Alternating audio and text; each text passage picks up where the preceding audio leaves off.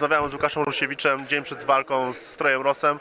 No i cóż można powiedzieć, e, znowu twoja walka, znowu rozmawiałem i znowu przeciwnik z absolutnie pierwszej dziesiątki światowych rankingów. No, Przyjąłem to bez większego zastanawiania się. Nawet dałem odpowiedź od razu.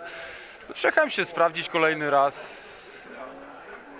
Myślę, że nie jest dużo silniejszym czy jakimś silniejszym y, przeciwnikiem ni- niż reszta, z którymi boksowałem. Nie wiem jak ciebie, ale mnie trochę zaskoczył dzisiaj swoją wagą. W ogóle swoją posturą jest no, dużo od ciebie mniejszy, przynajmniej tak jak się spojrzy tak pierwszy, pierwszym rzutem oka. 86 chyba i pół kilograma wniósł dzisiaj, czyli przewaga fizyczna powinna być wbrew pozorom chyba po twojej stronie. Teoretycznie tak będzie. No cieszę się z tego, że jest ode mnie mniejszy. Wiedziałem, e, że jest ode mnie niższy, tam kilka centymetrów. Miałem okazję widzieć go w przeszłości. Będziemy walczyć. No, może być szybszy od reszty tych przeciwników, z którymi boksowałem.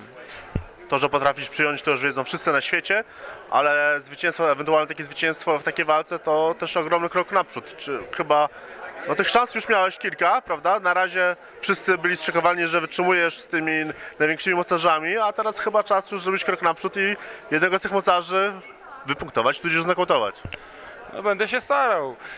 No ja się e, pokażę tym wszystkim e, pseudoznawcom e, internetowego boksu, tych, tych wszystkich, którzy komentują, a z boksem nie mają nic wspólnego, że potrafię wygrać. No, będę się starał, no, na pewno skóry nie oddam. Rozmawiałem z panem Jankiem Gielem, który się zajmuje twoją karierą i on też wspomniał, że e, trochę będzie inny teraz obraz twojej kariery, że jednak będziesz częściej e, walczył pod siebie, a nie pod kogoś innego, e, że trochę spróbujecie zbudować swój rekord i wtedy może znowu zaatakować kogoś mocniejszego. No i cieszę się, że, że takie coś y, się, się dzieje. No, nie ukrywam, że boksowałem pod siebie, no ile? 4-5 walk może na początku kariery, os, ostatnio pod siebie y, zaboksowałem. No co, no, no będzie miło ten ranking na, na moją korzyść zwiększyć. Tak idę łeb w łeb, Je- 11 w plecy, 10 do przodu, no ale w plecy mam każdy wie z kim.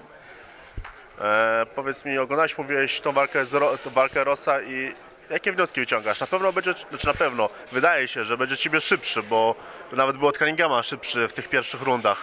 A zauważyłeś jakieś błędy, które popełnia? No sz- szybszy będzie na pewno, e, luźniej się rusza, no ale też trzeba mieć siłę ciosu.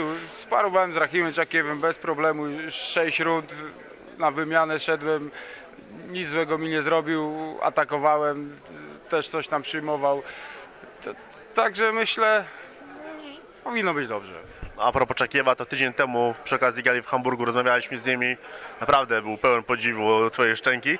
E, wracając jeszcze do tego Rosa, e, ta twoja walka z Afolabim pokazała, że w tych końcowych rundach moż, mogłeś go pogonić. Ross w sumie też długo nie walczył, więc może ten, te ostatnie rundy to chyba ten klucz będzie dla twojego ewentualnego zwycięstwa. No nie będziemy się podpalać od pierwszej rundy? Tych rund y, jednak jest 8, trzeba uważać. Te siły jakoś tak y, ro, rozłożyć na całą walkę. No cóż, mówię, podwójna garda, będę odpierać jego ataki, na pewno nie będę zadawać tyle ciosów co on. Skupię się na kontrowaniu. A powiedz mi jeszcze a propos tej walki z Afolabim, bo wiadomo, że to wszystko inaczej wygląda z perspektywy widza, a inaczej z twojej, ale miałem takie wrażenie, że gdybyś troszkę wcześniej go zaatakował, to nie powiem, żebyś go znakautował, ale na, gdzieś tam ta szansa byłaby jeszcze większa. No też tam ki- kilka razy studiowałem tą walkę. No, no wiem w czym, y, na czym moje błędy polegały. Dużo razy przestrzeliłem, on jednak ten kurczę tłów taki luźny, gdzieś tam przepuścił się, odchylił, kilku centymetrów brakowało. Myślę, postudiuję jeszcze, po, poglądam i pójdzie z górki. To życzymy Ci jutro powodzenia. Dzięki bardzo.